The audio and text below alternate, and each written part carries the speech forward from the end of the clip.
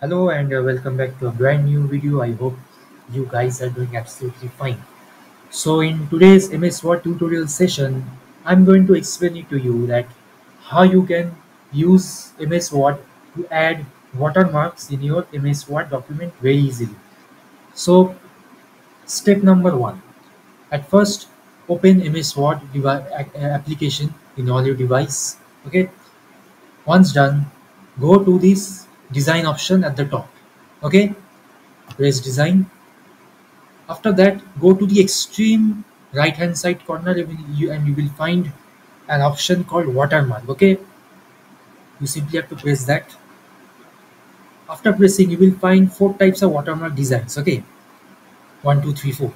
So for reference i'm going to use one of those designs to see that how this watermark system works so it's very simple just press and you will find that the watermark has successfully been applied on your MS Word document. Now a question arises that uh, what that how I'm going to add my own text in that watermark instead of the one that is currently uh, showing as default. So again I have to repeat the same steps. Go to the watermark option and simply move down to this option known as custom watermark okay? From here I can change the text that is already there. Say I want to write private. After that I simply need to press press OK.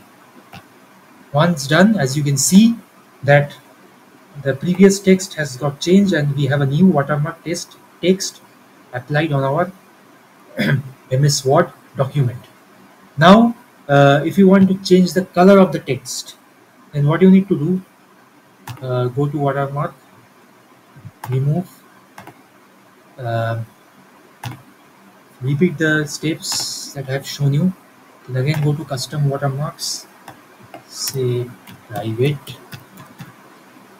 After that, go to this color section over here. Okay, press this arrow and you will find plenty of color that you want to apply. Say for example, I want to apply red so I have I, I'm choosing red and okay. See this is how you can even change the color of the watermark text as well. Now if you want to remove it again repeat the previous steps but instead of choosing any of these options just go to remove watermark and your watermark gets removed. Okay? So this is how you can uh, add modify remove watermark in ms word so if you have liked this video please give a like and if you have any doubts please uh, write it under the comment section. And please don't forget to subscribe the channel for more tutorials that i'm going to post in the coming days. So thank you all and uh, stay well